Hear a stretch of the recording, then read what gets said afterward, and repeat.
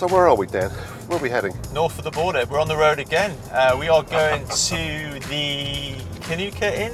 Kinneuchar Inn, how do you say it? People who know and are from it, it's pronounced Kanuka. Kanaka, Kanaka, Kanaka, Kanaka. Kanaka, Kanaka, Kanaka. Yeah. Okay. It's an interesting place because they use almost all of the produce from the estate in which the restaurant is located. So some of the supply line problems won't have hit them. That's good. That makes sense. It's a real farm to fork operation. They're, they're aiming for self-sufficiency and I don't think they're far away from it. Well, I'm looking forward to it. Let's hope the weather holds. Yes.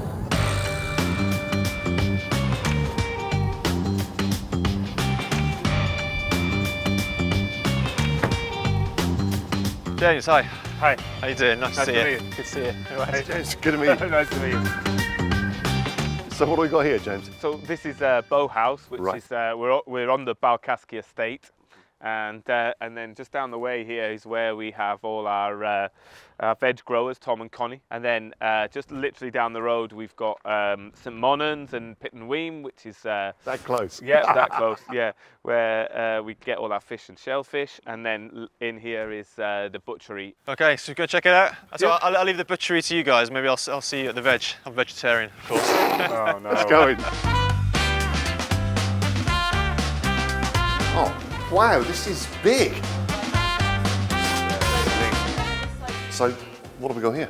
This was just a bit of forequarter meat that I've been chopping up. So getting some stewing cuts out of it, uh, getting some little steak cuts out of it. So this is quite a underused steak called the petite tender.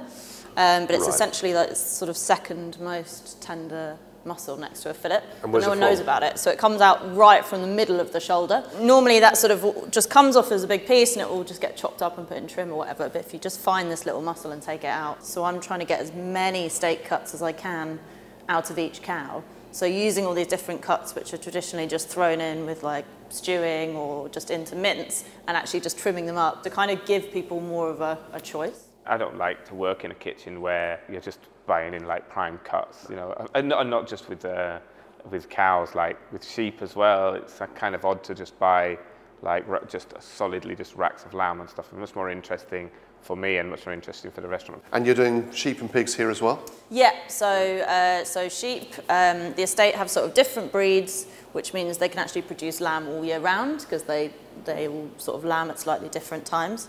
Um, and I'm also doing quite a lot of mutton as well, so Really? getting the kind of cull ewes that come from the estate. Um, Tell and me, then tell me what a cull ewe is. so cull ewe is just a is just a sheep that's not producing any lambs anymore. So it's it's done its kind of working life. I I think you've also got like as a butcher and as like a chef, you do have a responsibility to try educate people towards that, you know, and we should be eating Cull ewe mutton, not just because I think it's ethical, but because It's delicious. it's really delicious.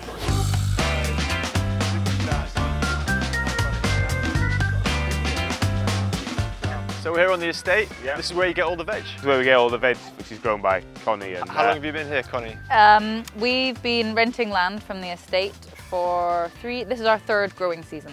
It's a decent sized operation you've got. It's two acres, three polytunnels, and it's a no dig system. So you're getting 90-ish percent of the veg Yeah, that we use in get- the kitchen from here? Yeah, we, I mean, we use one other supplier, which is over the way. And all the veg that we'd say was the blockbuster veg that can be the star of the dish all comes from here. What difference does that make when you're getting stuff so quickly from, you know, sort of farm to fork? It's more important that we can get really high quality veg. If we get something that's very high quality, we, uh, we don't want to mess around with it too much. So we won't be adding lots of butter and purees. We like to serve it as it is so you can taste how, how good it is and hopefully uh, cook it with respect. So we're hearing a lot about the supply chain squeeze at the Yeah. moment. Does having access to produce like this on your doorstep make you resilient to that? It makes us a, a lot more resilient in uh, in terms that we don't really have to use like large scale suppliers or as much fruit and veg as some places might use from Europe. Are you one of the lucky ones in that respect though? Not everybody very has lucky, access yeah. like this. Um, uh, I think uh, if you're going to have a, a a rural restaurant, you should be using sort of rural produce as well. That's that's grown out here because it seems something crazy about having a a, a restaurant in uh, in Fife and then uh, going sort of from London to Edinburgh, you know, via from Milan in that sense to get veg. We work on a thing where like they send me an email on on like a Monday and then they get the same with Lewis who does the fish and and I know what there is meat wise as well. So like I'll see what's in season, and then that will govern uh, what the menu is. Rather than me say this is a menu, I need this. I'll always be like, what do you have that's good? Right, let's have that, and then let's decide what we're going to do with it. And that- for me, that's just a more fun, exciting way to cook. Does that hinder your chances of ever getting a, a Michelin star? I mean, uh, I, I, I don't know. Look, I, I imagine there's uh, chefs that do work like that, but it's not very. uh, Look, a long time ago, I decided that um, I hadn't a big interest in, in, in awards and stars. What I had an interest in was uh, people sitting down enjoying food, and that gave me pleasure. This is all local produce, right? And, and it's an amazing selection of stuff. Oh, that is just a beauty. These are razor clams, right? We call these spoots, in Scotland. yeah, yeah. You're a lucky man. Yeah, yeah, I am because we've got like the veg literally like just down the road, and then we've got the meat like Same at the place, Bowhouse. Yeah, and then uh, the fish here, and it's that freshness, that quality that hopefully makes its way onto the plate.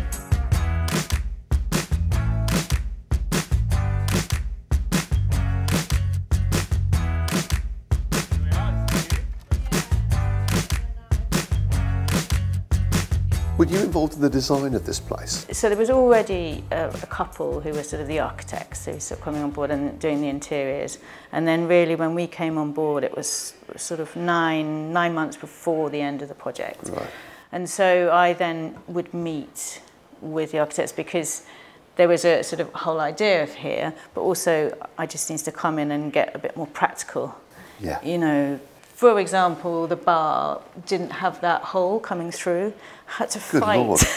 Really? uh, really hard to get that because they said no, it doesn't really work with the whole visual. And I said, but it's so necessary. But your service flow is everything. And that's Yeah, also there's two extra members of staff to cover the Yeah, so just little yeah. things like that. But you know, this was it was really built from the inside out. You've ended up with a easy utilitarianism. Yeah, there's a sort of sparsity, aesthetic. but also Yes, austere but but, Yeah. but comfortable. I wanted people to feel that you know they're being welcomed into our into our home, as it were. You know, sort of with the food and, and the service, and you sort of feeling comfortable from the minute you arrive. What are you doing here, James? Yeah, sorry.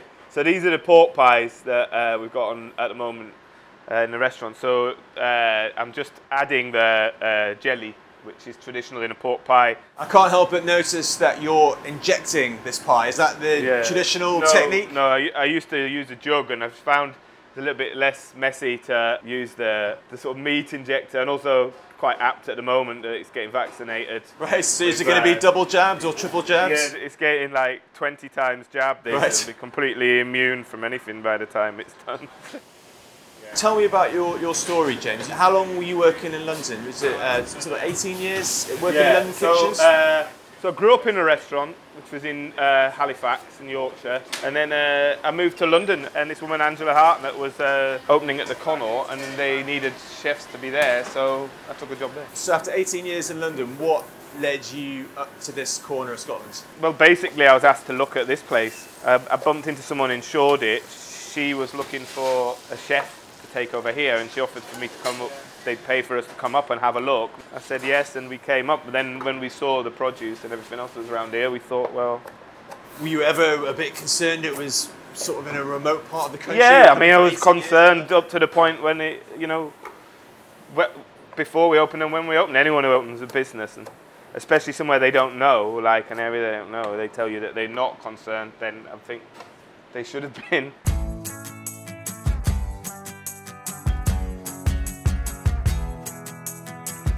This place from the outside is, is it's like a corner pub in a very, very, very small, I suppose village is the word for it. Yeah. How, did, how were you greeted when you arrived? What happened with the locals? I think it was difficult because obviously this was a very old traditional pub, um, which previously everything had been traditional fare, as they refer to it. Um, so it was quite tricky to sort of open, and people suddenly had been coming here for 20, 30 years to suddenly come in and just think, what is going on here? We opened at the end of uh, September 2019 and then managed to get six months, and we were working incredibly hard and were really, really busy.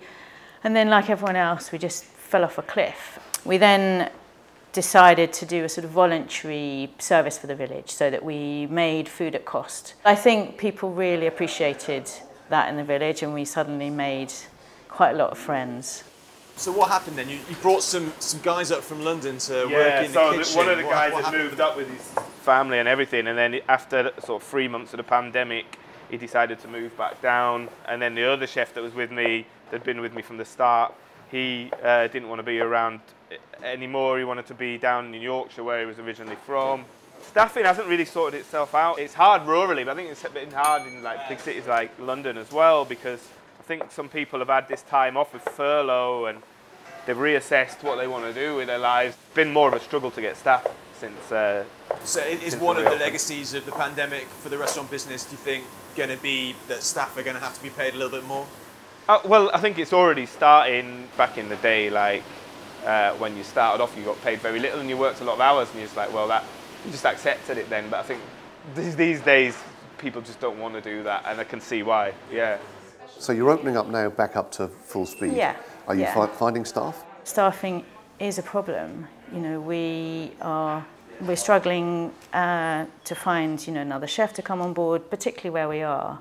Someone's got to make a sort of a life choice to come and be here mm. if they want to work in the kitchen. It does feel positive, but I think it's about attracting people to come and work for us, and, and therefore we have to manage expectations and also look at how we run the business and look at pricing and all of those things. And, you know, pricing needs to perhaps go up and things need to, so to reflect people's wages, people's way of life. It's trying to find that balance. Um, great food. If you don't have great service, it's the two have to you know they have to go hand in hand, because otherwise it doesn't work.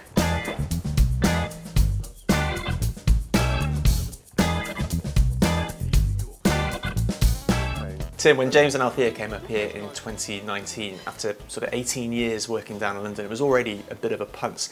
But then a few months later, along came COVID and completely turned their plans upside down. It was definitely a risk, but strangely mitigated. I mean, they were they were invited up here. They were recruited up here by the Anstruther family, who own the estate up here, and there was a plan, I think, to try and create a.